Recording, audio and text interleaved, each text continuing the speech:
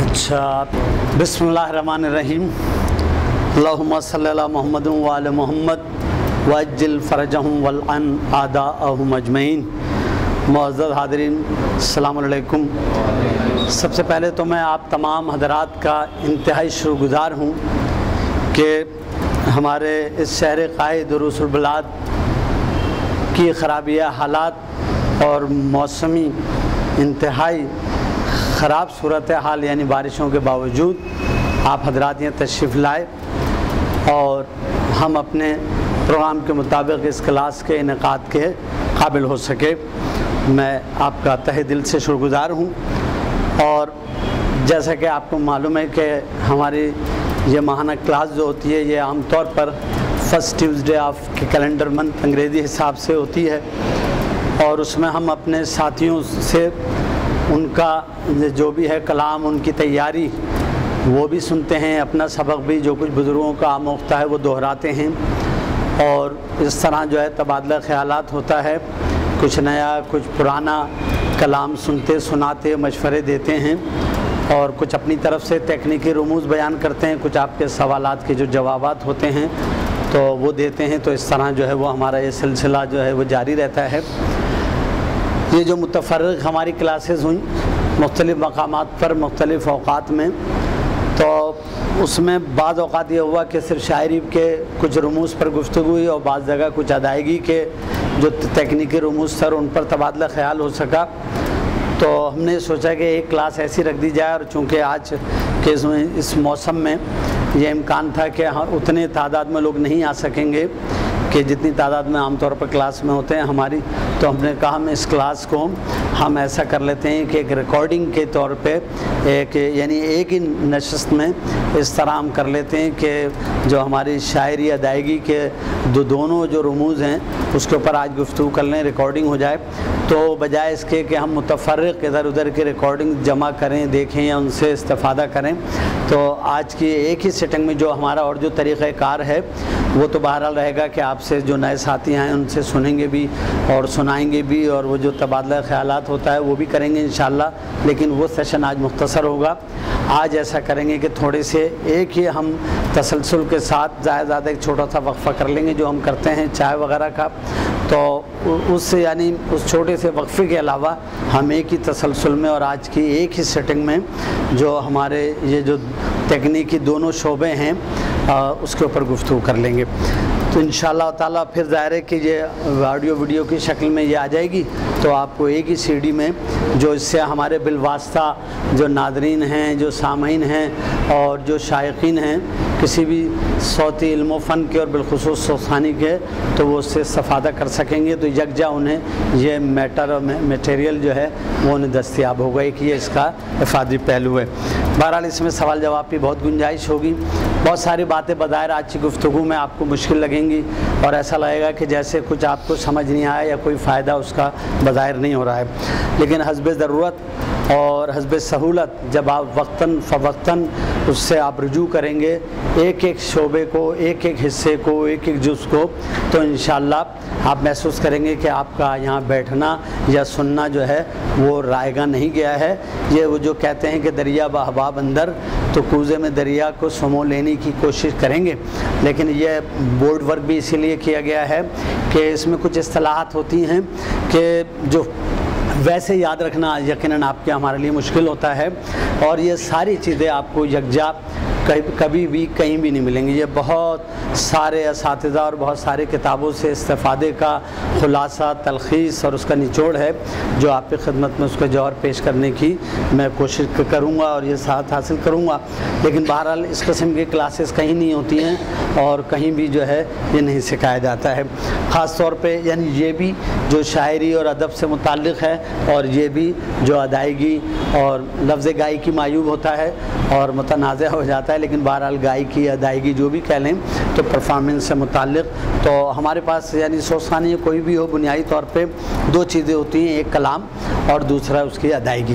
तो बहरहाल ये हमारे दो शोबे होते हैं तो इन दोनों पर आज गुफ्तु करेंगे। बोर्ड की मदद से आप इनको आराम से देखिएगा, अपनी डायरियों में अलग से नोट कर लीजिएगा, और फिर मज़ीद इसमें कोई मसला हो तो आप लोगात से और जो जो जो हजरात हैं इन शोबों के, उनसे और मुझसे भी बहरहाल आप बाद में इस्तफसार कर सकते हैं।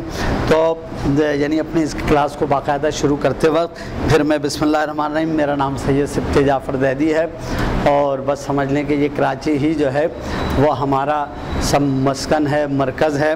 और सच पूछें तो अगरचे हमारी ज़्यादातर जो असादारी से मुतल जो हमारी असनाफ़ हैं, वो सब जो हैं, वो भारत ही से चली थी, यानी गैर मुनकसम जो हमारा ये हिंदुस्तान था, हिंदुस्तान, पाकिस्तान इस इलाके से और उसमें भी मुख्तलिफ़ इलाके हैं ख़ास तौर पर अवध और हैदराबाद, दक्कन और अवध और दिल्ली और आगरा और मुजाफ़ात और राजस्थान, ये कुछ इलाक़ों से बहरहाल शायरी का भी आगाज़ हुआ और दीगर असनाफ का भी और जिसमें हमारी सोसानी भी आ जाती है।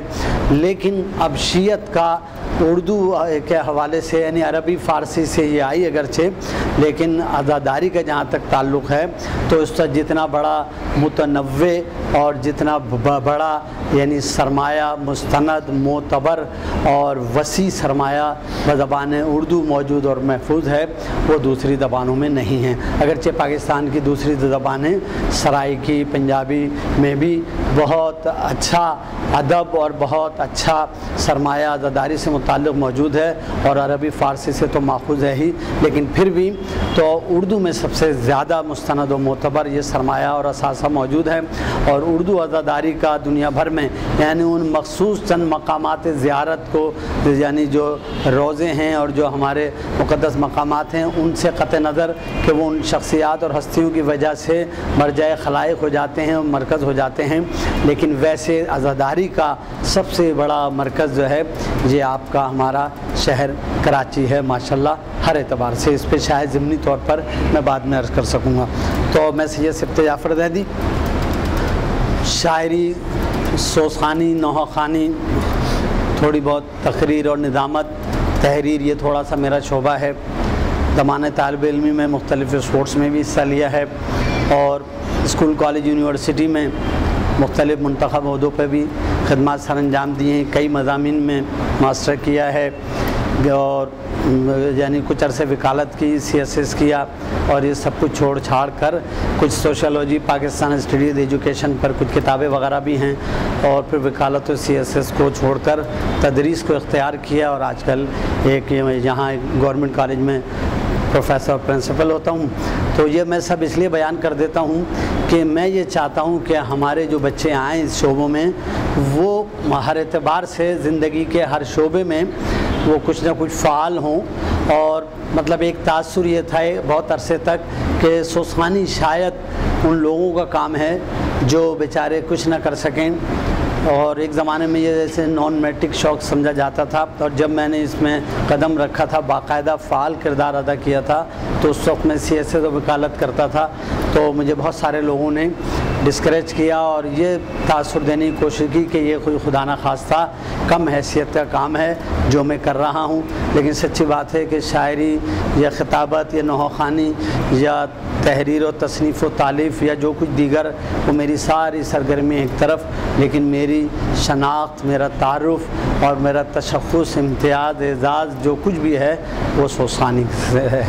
सोसानी की वजह से मुझे और मेरी वजह से मौला के करम से और आप सब हजरात के ताउन और दुआओं के नतीजे में सोसानी को बहुत कुछ फ़रोग मिला और ये तासर ख़त्म हो गया। बहमदिल्ला अब हमारे इस इदारे में जहाँ भी इस भी मौजूद हैं, इस मुख्तसर से इज्तम में भी ऐसे कई लोग मौजूद हैं कि जो यानी वो साइंस में यानी ग्रेजुएट हैं, पोस्ट पोस्ट ग्रेजुएशन कर चुके हैं यानी मास्टर डिग्री होल्डर हैं।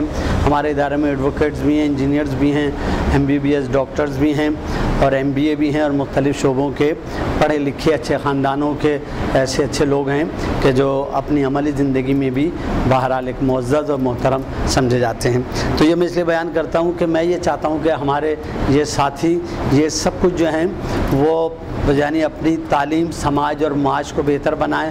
हुकूकुल्ला नफ्स और हुकूकुलबाद में तबादुन रखें और अपनी घरेलू ज़िम्मेदारियों, माशी, समाजी जो उनकी ज़िम्मेदारियाँ हैं और जो फ़राइद हैं, वो सब सर अंजाम देते हुए कुछ वक्त इजाफी निकाल कर और वो जो ज़ाहिर हर एक का कोई ना कोई मशगला या शौक़ होता है तो वो अपनी दीगर मसरूफियात, में बच्चों को चाहता हूँ कि वो तालीम में और स्पोर्ट्स में भी हिस्सा लें और उसके बाद अपने घरेलू काम काज भी करें। आराम भी करें और दीगर जो मुस्बत, तामीरी तफरी सरगर्मियाँ हैं, उसमें भी हिस्सा लें और उनका आई क्यू भी अच्छा होना चाहिए और उनका बिहेवियर भी अच्छा होना चाहिए। हमारे इदारे से वाबस्ता जितने भी लोग हैं, वो अमली ज़िंदगी में भी एक मिसाली नौजवान हैं और अगर कहीं चार भाई हैं माशाल्लाह तो उसमें वही भाई अपने घर ही में नहीं, वैसे भी सबसे बेहतर है अपने उस तबके में, उस ख़ानदान में कि जो हमसे वाबस्ता है। हमारा कोई साथी पान सिगरेट छा लिया या इस कस्म के जो है, वो किसी आदत में मुबतला नहीं है और एक अच्छा मिसाल इंसान है।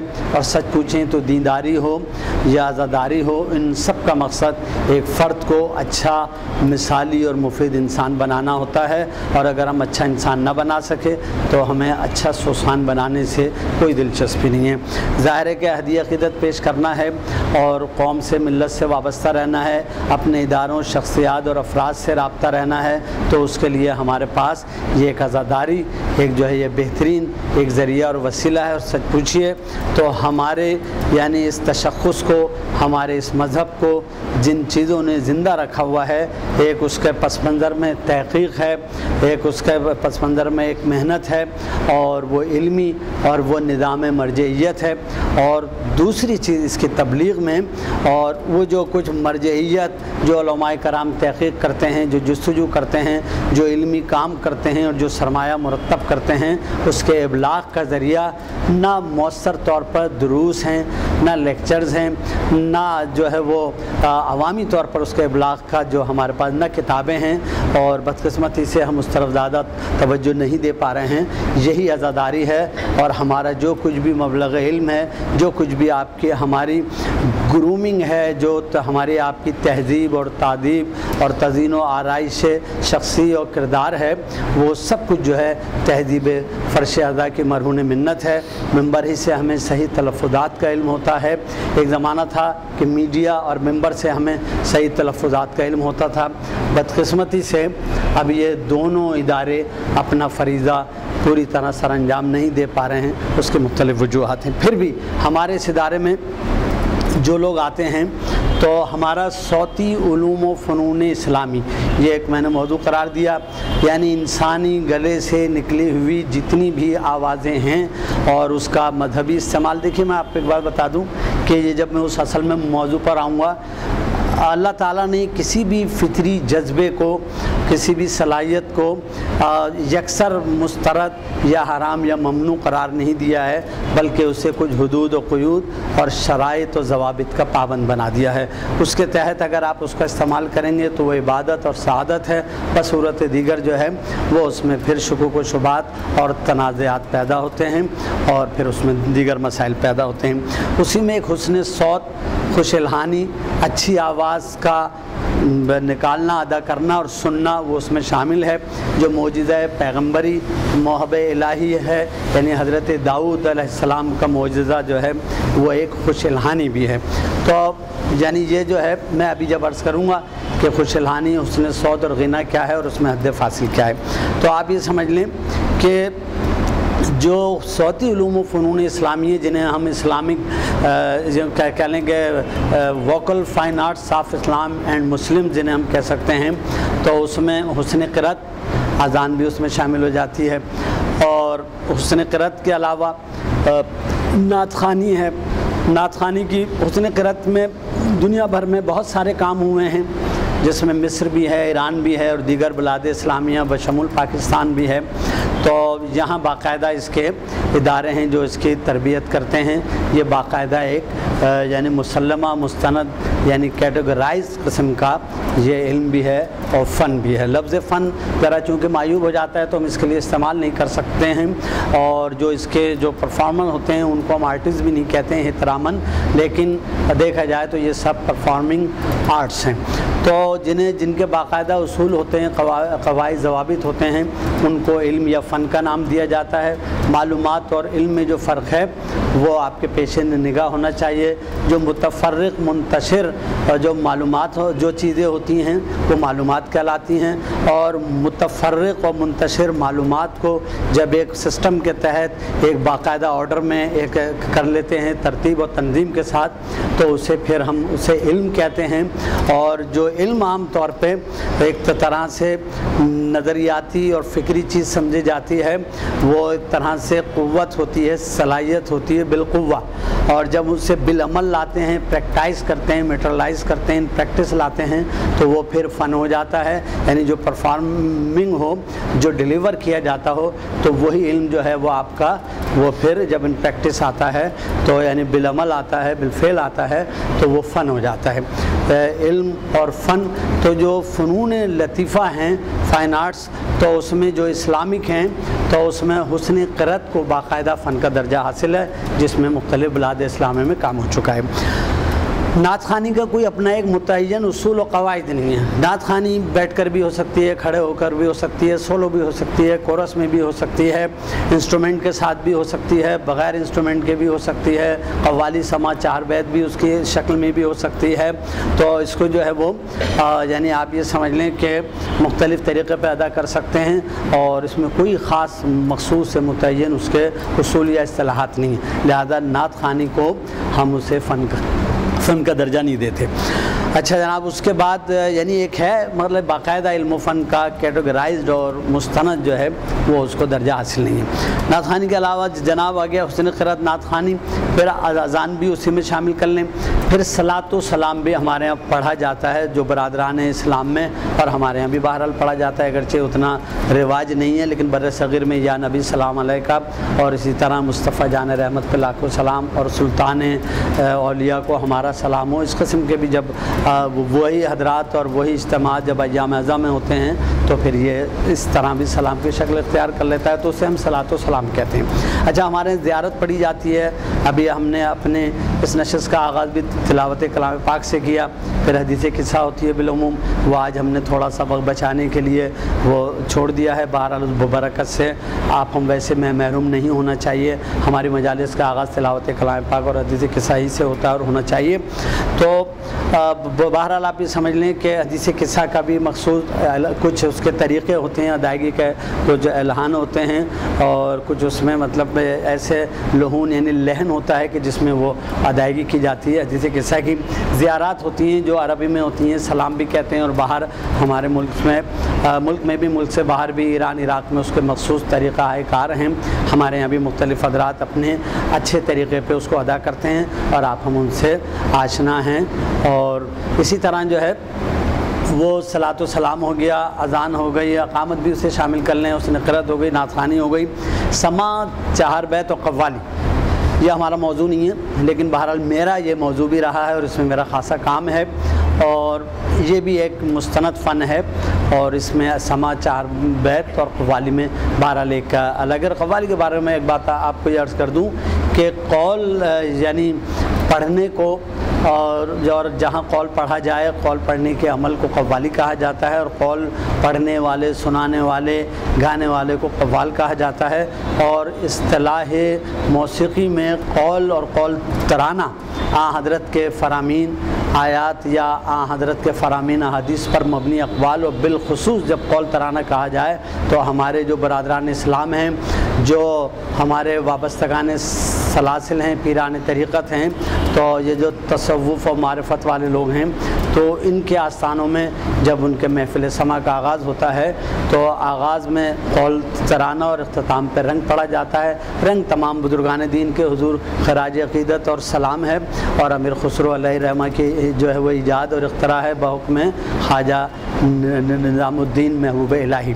जो ज़ाहिर कम अज़ कम तब्दीली ज़रूर थे, अगर तकैये में मोमिन ना भी उन्हें माना जाए तो। अव्वल तो ये सब जो हैं, सब मुहिबान अहल बैत थे और हम इन्हें किसी फ़िरक़े में मखसूस या महदूद नहीं करते हैं। आज भी इनके मज़ारात इन बुजुर्गान दीन के जो फ़ैद रसान आलम और मरज खलाइक हैं, बिला तफरीक़ रंग व नस्ल व मज़हब व मिलत व ज़बान और बहर अलग मौजू है। आज के हद तक हम इससे बाहर आ जाते हैं। तो आप ये समझ लें कि वहाँ आगाज़ जो होता है, वो अली मौला से होता है और उसके मुख्तलिफ़ अंग रंग हैं, जो यानी ये अच्छा अब यहाँ एक बात क्या है? इसकी शरह हैसियत पर गुफ्तु होती है, वो हम अभी आएँगे उसके ऊपर बात करने। रक्स सरूद और मौसीकी में गर्क लोगों को इस तरफ़ ले आना और यहाँ से फिर यानी नमाज़ और आद वज़ाइफ पर ले आना बतदरीज ये जो है, ये सवाब का काम है। लेकिन एक आदमी मुतकी परहेजगार, दीनदार और एक अदादार को और जो दुआओं में, मनजात में रहता हो तो उसको जो है, इस तरफ़ ले जाना नामनासिब सी बात है। ये बिल्कुल ये मिसाल ऐसी है, जैसे खुदा न खास्ता कोई अगर नशा करता हो और कोई खुदा न खास्ता नशे वाली सिगरेट पीता हो तो उससे सादा सिगरेट पर ले आना एक कार खैर है, लेकिन एक आदमी को जो इन चीज़ों से यानी महफूज हो, उसको सादा सिगरेट पर लाना भी गुना है। तो आप समझ लें कि मस्जिद इमाम बारगाह और खानकाहों से लोगों को निकाल कर उधर ले जाना नामनासिब बात है। लेकिन जो अवामी रक्स सरूद में मुबतला हैं और इसमें गुनाह ने कबीरा में, उनको इस तरफ़ बतदरीज लाकर और उन्हें यानी और भी ज़्यादा यानी उन्हें मोहतात और इधर ज़िम्मेदार बना देना, ये कार सवाब है। तो ये थोड़ा सा मौजू अलग से आएगा। तो आप ये समझ लें कि हुसन करत के बाद जो सौती फ़नून इस्लामी उसमें समा कवाली चार बैत को फ़न का दर्जा हासिल है, इसलिए कि उसकी असलाहत हैं, उसूल जवाबित हैं और यानी कैटेगराइज्ड मतलब ये एक मुस्ंद फ़न है। तीसरा साहब नौखा सलाम। एक सलाम तो वो होता है कि जो आखिर में पढ़ा जाता है, ज़्यारत को भी सलाम कह देते हैं, जो अरबी में पढ़ी जाती है। और एक मेंबर का सलाम होता है, जो आमतौर पर सोसानी और जाकरी या खिताबत से पहले कभी बजबान शायर, खुद शायर ही पढ़ता है, और कभी दूसरे हजरात, सलाम खां, नौ खां या मनकबत खां हजरात पढ़ते हैं। तो समझ लें कि वो सलाम, उन मानी में।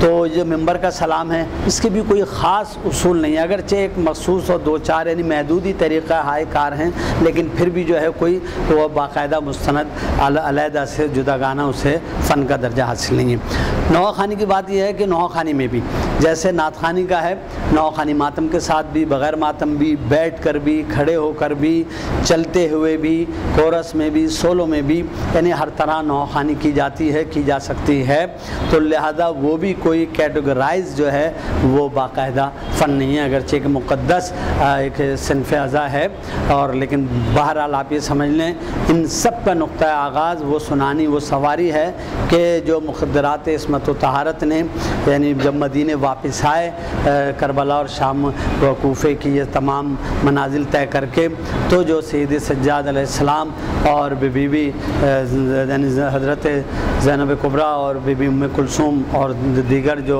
मुखदरात थी, उनकी ख्वाहिश पर जो बशीर इबन जजलम ने जो सुनाया यानी मंजूम, इसलिए कि ये आप हम सब जानते हैं कि नसर के मुकाबले में नज़म और तहत के मुकाबले में लहन को फ़ोकियत हासिल होती है, असर आफरीनी के अतबार से भी, और तासर की वजह से भी, और साथ साथ ये है कि कम वक्त में मुख्तसरा ज़्यादा तेज़ी से असर असरानंदाज होती है और देर तक उसके असरात बाकी रहते हैं। लिहाजा उन्होंने इस बात को समझते हुए अशार में लहन में उन्होंने जारी किया।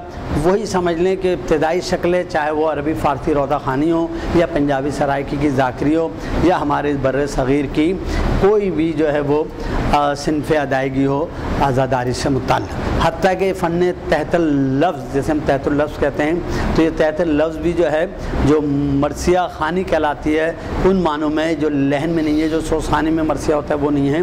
उसका भी एक ख़ास तरीक़ा होता है, सदाकारी होती है, उसके भी उसूल होते हैं, और वो भी बहरहाल एक फ़न है, अगरचे जुजवी और जैली फ़न के तौर पर है, और उसके भी अब आसार ख़त्म हो गए हैं। एक सदा सुनानी सवारी जुलूसों में, हमारे खामोश जुलूसों में जहाँ मातमदारी नहीं होती थी, नो मुहर्रम, आठ रबी अव्वल वगैरह तो उसमें ख़ास तरीके पर पढ़ी जाती थी, उससे सदा भी कहते थे सवारी सुनानी भी तबरुकात अज़ादारी शबीहों के साथ, और जुलूस में सब, यानी पढ़ते हुए सुनते हुए जाते थे। एक पैगाम था, एक ऐलान था। और मैं आपको यहाँ यही बता दूँ कि साहब, ये जो है मातम क्या है दुनिया वालों? जुल्म से नफ़रत का ऐलान, मजलिस क्या है? शहर से मोहब्बत और मवदत का ऐलान। इसी तरह जो है, वो सबक बर्बादी साहब ने फरमाया था कि यहाँ से होती है तबलीग दीन ईमा की, इदारा दीन का है, मजलिस अज़ा क्या है। तो बात यह है कि ये मजलिस मातमी जुलूस, ये सब पैगाम अहल बैत और मसाइब अहल बैत, करबला शाम कोफ़ा के जो है रुदात को बयान करने का नाम और ज़रिया था। और अब ये अलग बात है कि फ़ी ज़माना, वो सुनानी सवारी सदा वो पढ़ने वाले लोग ख़त्म हो गए हैं। और अब जो है वो बहरहाल ये दौर मनकबत खानी का, नौ खानी का और सोस खानी का है। मनकबत खानी अभी यानी ये समझ लें कि कुछ ही अरसे से मतलब ये राइज और मकबूल हुई है और उसमें इस अहकर का भी खासा किरदार है। और वो यह है कि साहब हमने कहा कि नौखा हजरात और ये अंजुमने और ये अहबाब अज़ादार सिर्फ़ सवा दो महीने तक फ़ाल रहते थे और साल भर गायब, जबकि हमारी बहुत बड़ी अफराधी ताकत थी और है, माशाल्लाह। तो हमने कहा कि मासूमिन की खुशियों में भी शरीक होना चाहिए।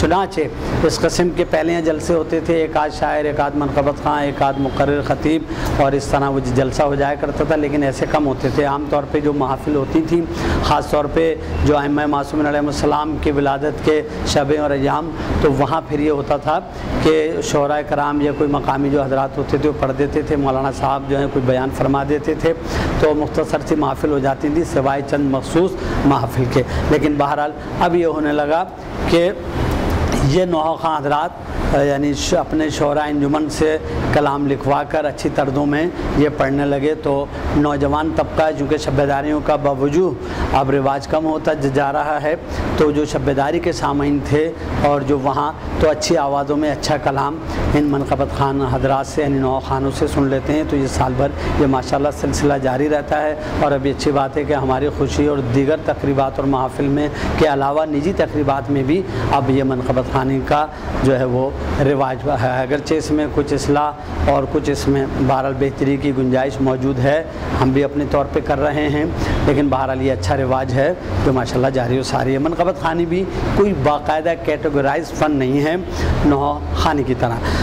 लेकिन एक बात यह है कि ये जो सोसानी है हमारा, सोसानी हमारा जो है वो बिल्कुल मुस्ंद फ़न है। क्यों? कि इस फ़न की अपनी असलाहत हैं, इस फ़न का अपना जो है वो समझ लें कि एक अख्तसास है, एक इनफरादियत है, एक एजाद है और इसमें दो तीन कस्म की जो हैं वो सोसानियाँ हो रही हैं तीन कस्म की समझ लें। एक वो है जो खां साहिबान और इस कराम वो यानी वो करते हैं तो वो खालिश क्लासिकी जो फ़नी और जो अदायगी होती है, मैं लफ्ज़ मौसीकी आप कह लें उसमें कि वो खां साहिबान, वो अब फ़ी ज़माना उसके बहुत कम लोग रह गए हैं। जब वो हमारे ये बर सग़ीर में जब रियासतें थी रजवाड़े थे तो उस वक्त के जो नवाबीन थे और उस वक्त के जो राजा और उनसे मुतल उमरा और रौसा थे तो वो अपने यहाँ जो साल भर मौसीकी गायकी और दूसरी चीज़ें सुना करते थे तो एहतरामन उसमें महज तो यानी ये ज़रूरी नहीं है कि वो उनका यानी ताल्लुक़ बर रास्त मज़हब व मसल के अहल बैत से हो, लेकिन जो गैर शिया हजरात भी थे तो वो एहतरामन याम अज़म और बिलखसूस यानी अभी शुरू के बारह दिन चाँद रात से लेकर स्वयं तक और फिर चेलूम और कुछ और अयाम में और वो और बात तो सवा दो महीने तक वो फिर वो ये कलाम सुनते थे। तो उसमें फिर वही खां साहबान और वही साहिबान फ़न जो उनके दरबार से वाबस्ता थे या उनके जो है वो आ, या उनसे वाबस्ता थे तो वो फिर इन अयाम में वो पुरसा अपने पेश किया करते थे जो उनकी नकद हुनर थी यानी कलाम और आवाज़ वो लेकर हाजिर होते थे। अब ज़ाहिर है कि वो रियासतें वो रजवाड़े वो सरप्रस्ती नहीं रह गई है तो उन हजरात की तरजीहत भी बदल गई हैं। लेकिन बहरहाल ये हुआ कि उन हजरात ने इस फ़न को तकरीबन 300 साल पहले इसी बर सग़ीर में हैदराबाद दक्कन और अवध और जैसे कि मैंने कहा, राजस्थान, आगरा दिल्ली और गिरदोपेश में इसके यानी आगाज़ के आसार मिलते हैं। वहीं से, यानी मरसिया गोई को भी फ़रोग हासिल हुआ, जो मौजूदा शक्ल में भी बाकी है फ़न तहत खानी को भी, और बिलखसूस सोसानी। लेकिन नोहा खानी या और जो चीज़ें ये अरबी, फ़ारसी और दीगर ज़बानों में भी हैं, और महज अहल बैस से ही मखसूस नहीं है। नोहा खानी हो मकतूलिन बद्र के नोए और मरसिए भी मौजूद हैं। लेकिन ये सोसानी इस बर सग़ीर में, उर्दू दा तबके में शुरू होने वाली वो खिदमत है कि जो, और वो सिनफ है कि जो खालिस जो है आज़ादारी से और आज़ादारों से मुतल है। अगरचे इसमें दूसरों का भी हिस्सा है, अदायगी में भी, खदमात में भी, इसके फ़रोग में भी, सुनने और पढ़ने में भी, लेकिन बहरहाल ये आज़ादारों की, करबला वालों की, अहल बैत की, ये जो है सिनफ है और इसके बाकायदा असलाहत हैं और इसके बाकायदा असूल हैं। ये बैठ कर होती है, खड़े होकर या चलते हुए नहीं होती है, ये बाजुओं के साथ होती है और साथ साथ ये है कि इसमें कलाम भी मैारी और मुस्ंद होता है, तर्ज़ें भी इसकी जो होती हैं, वो मैारी और मुस्ंद होती हैं। गाने कव्वाली या बाज़ारी या आमियाना या अमूमी जो तर्ज़ें आम तौर पर दीगर असनाफ़ें मिल जाती हैं, इसमें नहीं होती हैं। और इसको बैठ के पढ़ा जाता है, तकिया आगे रखा होता है, जो साथी हैं, वो उन्हें बाजू कहा जाता है, हमारे यहाँ जो तर्ज़ें हैं, या लहन है तो या धुन है, या कंपोजिशन है, उसे बंदिश कहते हैं, जो आ, से हम शुरू करते हैं, आ के बगैर नहीं होती है, ये इसका ख़ास तरीक़ा है, बैठ के होगी, तकिए के पीछे होगी, साथी बैठे हुए उन्हें बाजू कहा जाता है हम नवा या मामिन या और कुछ साथी नहीं कहा जाता, बल्कि उनको बाजू कहा जाता है और यानी अकेले वक्त ज़रूरत कोई पढ़ ले या कहीं खड़े होकर पढ़ ले, वो एक अलग बात है। या चलते हुए किसी शबी के साथ वो कहीं जुलूस में या कहीं वो पढ़ ले।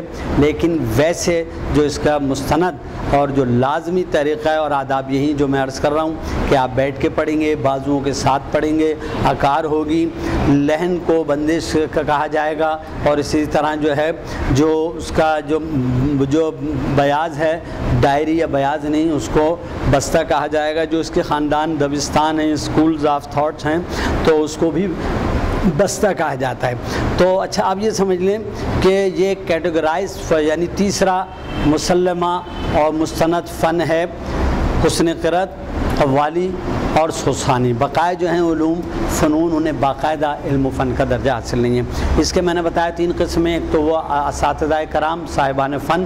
तो उनके यहाँ जो है वो, आप ये समझ लें कि अदायगी और गायकी उसको ज़्यादा अहमियत है। अल्फाज और पैगाम जो हैं, वो बाद दब जाते हैं। तो वो हमारा मौजू नहीं है। क्योंकि हमारे यहाँ बुनियादी तौर पर मौसी में से और इसमें फ़र्क क्या है? हमें अल्फाज और पैगाम पहुँचाना होता है और ये जो लय है, सुर है, धुन है, राग, रागनी है, ये महज एक ज़रिया एक आला, एक इंस्ट्रूमेंट, एक सवारी है, बजाय ख़ुद मकसूद नहीं है। गायकी में अल्फाज महज एक सहारा होते हैं, ज़रिया होते हैं, इंस्ट्रूमेंट होते हैं। असल चीज़ राग, रंग, मौसीकी और सुर पहुँचाना होता है। हमारे यहाँ असल चीज़ पैगाम पहुँचाना है, कलाम पहुँचाना है, ना कि राग रंग। राग रंग अलबत् ये ज़रूर है कि कलाम को देख कर उसकी मौजूनीत उसके मिजाज और तासर, हालात, मौका, महल, इन सबको पेश निगाह रख कर बंदिश मुरतब की जाती है। वो एक अलग मसला है। कभी कलाम को देख के बंदिश मुरतब करते हैं, उसके मिजाज के मुताबिक और ज़रूरत के मुताबिक रिक्वायरमेंट के मुताबिक, और कभी जो है बंदिश को देख के, राग को देख के, सुर को देख के जो है वो कलाम का इंतखब करते हैं बारह के अलग काम है एक सौ सानी तो ये हो गई कि जो यानी खान साहबों वाले हो गई। एक वो हो गई जो खालिश देसू, देसी घरेलू कस्म की है ख़वान भी करते हैं। दायरा मौला का नाम है, जिस तरह भी लिया जाए। लेकिन हम जो भी काम करते हैं, दुनियावी तौर पे तो हम कोशिश करते हैं कायदे करीने से किया जाए तो फिर जो मौला की खिदमत में हम तोहफ़ा किसी आम आदमी की भी खिदमत में पेश कर रहे होते हैं तो अपने जैसे दोस्त बल्कि कमतर और छोटों को भी तो उनको भी एहतमाम से कुछ ना कुछ उसमें हम एहतमाम करते हैं और उसको एक तरह के सजा बना के पेश करते हैं। तो कायनात की सबसे बड़ी हस्तियों के हजूर, जब हम नकद हुनर कोई तोहफ़ा पेश करने जाएँ तो ये कैसे हो सकता है कि हम उसमें एहतमाम और एहतियात को मलहूज ना रखें? चुनाचे, हम उसमें ये तमाम करते हैं और करना चाहिए। कि कलाम का इंतखब सोच समझ कर जो इस बुज़ुर्गों का काम है वो किया जाए और उसकी अदायगी के असूल और वो भी जो हैं आदाब जो हैं वो मलहूज रखे जाएँ। तो इन दो, दोनों चीज़ें कलाम का तकदस और वो भी है जाए अच्छा अब यहाँ हम अपनी सोसानी के लिए हमारे सैयद मेहदी ज़हीर जो कलीमी साहब शायर भी थे कंपोज़र भी थे और दानश्वर भी थे और परफार्मर भी अच्छे थे। उनके चार मिसरे हम पेश करते हैं कि हो ज़िक्र शह तो हो ज़िक्र शह तो फ़ज़ा दर्दनाक कर पहले। है ना जी? हो ज़िक्र शह तो फ़ज़ा दर्दनाक कर पहले। नहीं हो ज़िक्र शह तो फ़ज़ा दर्दनाक कर पहले। और क्या था? चलिए मैं आपको ये बताता हूँ कि रहे ज़रा भी ना आलाइश तरफ़ बाकी सुरों हाँ रहे ज़रा भी हो ज़िक्र शह तो फ़ज़ा दर्द ना कर पहले, नवाए गम के गरेबा को चाक कर पहले, हो ज़िक्र शह तो फ़ज़ा दर्द ना कर पहले, नवाए गम के गरेबा को चाक कर पहले, रहे ज़रा भी ना आलाइश तरफ़ बाकी सुरों को सोच के दरिया में पाक कर पहले। अब सुरों को सोच के दरिया में वो पाक कर सकता है जो कलाम के तकदस और उसकी अहमियत से भी वाकिफ़ हो और अदायगी, यानी सुरों के भी जो है वो अहतमाम और उसके असर और तासर से। तो सुरों को सोच के दरिया में पाक कर लेना है। जो हमारे खां साहिबान साहिबान फ़न हैं, वो बाद अवत इस पहलू को नज़रअंदाज कर जाते हैं। लेकिन ये जो हमारे घरेलू पढ़ने वाले हैं, उसमें कोई टेक्निक नहीं है। उसमें मर्द हजरात भी हैं ख़वान भी इन्हें हम देसी घरेलू सोसानी कहते हैं, मौला का नाम है किसी तरह भी लिया जाए, लेकिन उसमें किसी गैर मजलिसी के लिए कोई कशिश और कोई उसमें जो है वो अट्रैक्शन नहीं होती है। हमारा से मकसद ये है कि न सिर्फ़ अपनी उन अजीम हस्तियों के हजूर, एक अहतमाम के साथ, एहतियात के साथ और तमाम तर, यानी खलूस और एहतियात और तमाम तर जो है, वो अहतमाम के साथ उनकी खदमत में हदी अकीदत और नजरान अकीदत पेश करें। बल्कि वो लोग भी न सिर्फ़ ये कि हम अकीदा, बल्कि वो लोग जो आज़ादार या मजलिसी या आपके हम अकीदा नहीं हैं वो भी सुनने पर माइल हों और जो कलाम पेश किया जाए, वो उस तरफ़ मुतवजह हों और उससे गोया कि एक तबलीगी एक जो है वो हमारा एक मकसद होता है। और ऐसा है तो होता है बाद के आदमी को कलाम से दिलचस्पी नहीं भी होती, लेकिन अच्छी आवाज़ और अदायगी की वजह से मुतवजह हो जाते हैं और उसमें फिर हमारा पैगाम पहुँच जाता है। तो ये जो हमारी दरमियानी जो एक रास्ता है, इसमें हम सादगी को बिल्कुल सुरों को सोच के दरिया में पाक करते हैं। इसके लिए हमें थोड़ी से अब हमारे पास दो चीज़ें सोसानी में सोसानी में देखिए अच्छा हमारे मजले से सारा साल होती है, माशाल्लाह। ख़ास तौर पे उर्दू दान तबका पूरी दुनिया में जो मौजूद है और कराची में जो आज़ादारी का सबसे बड़ा मरकज़ है, माशाल्लाह। तो और मैं एक बात कहता हूँ कि ये हमें एक इतफ़ाक़ से ये सादत हासिल हो गई है कि आज़ादारी मैंने अर्ज़ किया कि सबसे बड़ा सरमाया असासा उर्दू ज़बान में है। और उर्दू ज़बान, उर्दू अज़ादारी का मरकज़ कराची है, जहाँ न सिर्फ़ उर्दू बल्कि दीगर इलाक़ाओं की यहाँ अरबी, फ़ारसी पढ़ने वाले भी मौजूद हैं। सराइकी पंजाबी, सिंधी, खोजा गुजराती और गिलगित बल्तिस्तान की ज़बानों और दीगर इनको और दीगर ज़बानों के लोग भी, चूँकि कराची में पाकिस्तान है तो यहाँ हर जगह की नुमाइंदगी मौजूद है, हर जगह की आज़ादारी मौजूद है।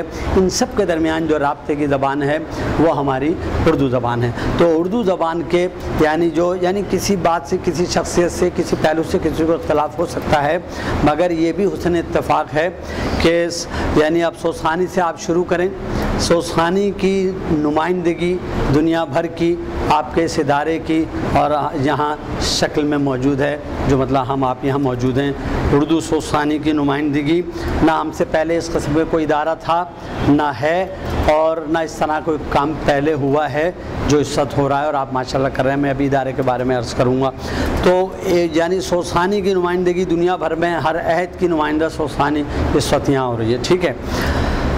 जो बुज़ुर्गों का सदका था, मुख्तलिफ़ दबिस्तानों का, जो मैंने बुज़ुर्गों से उनका सदका हासिल करने की कोशिश की और महफूज करके मुंतकिल करने और उसको फ़रोग देने की कोशिश की तो मतलब मैं आपके सामने मौजूद हूँ। उसका, उन बड़े लोगों का एक छोटा नुमाइंदा। इसलिए कि बड़ों की मौत ने हम कोता कामतों को बड़ा दिखाना शुरू कर दिया। हम बड़े नहीं हो गए, बल्कि जब हमारे बड़े, हमारे सर से और हमारे साथ से वो हट गए तो फिर हम कोता कामत ही बड़े दिखाई देने लगे। तो आप ये समझ समझ लें कि सोसानी की नुमाइंदगी कराची में है। और ख़िताबत के हवाले से यानी यानी हिंदुस्तान में भी हैं ख़तीब दीगर ममालिक में भी हैं, दीगर शहरों में भी हैं, लेकिन सबसे बड़े ख़तीब फ़ी ज़माना माशा अल्लामा तालिब जौहरी साहब समझे जाते हैं। उर्दू ख़िताबत के हवाले से उनका ताल्लुक भी कराची से